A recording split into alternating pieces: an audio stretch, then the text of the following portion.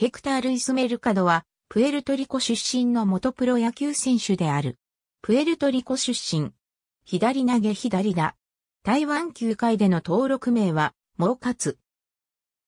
1992年の MLB ドラフトで、ヒューストンアストロズから13巡目指名を受け入団。2000年にシンシナティレッツでメジャーデビュー。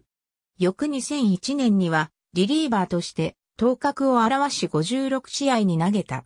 2002年、2003年はフィラデルフィアフィリーズに在籍した。2004年、福岡大英ホークスと契約。時速 150km 左腕との振り込みで抑え役を期待されて入団したが、ほとんど登板の機会はなかった。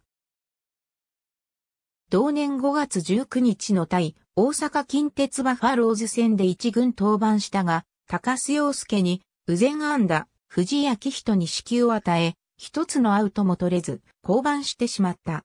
出した走者が生還したため投球回数0、3、自責点1が記録され、防御率は計算不能である。その後、肩痛を発症するなどして一軍登板することなく、そのまま解雇された。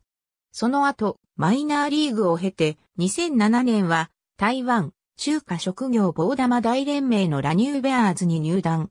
しかし、4試合のみの登板で未勝利に終わり、5月23日に退団。同僚の松中信彦は、彼はものすごくラーメンが好きなんだ。とコメントしていた。ありがとうございます。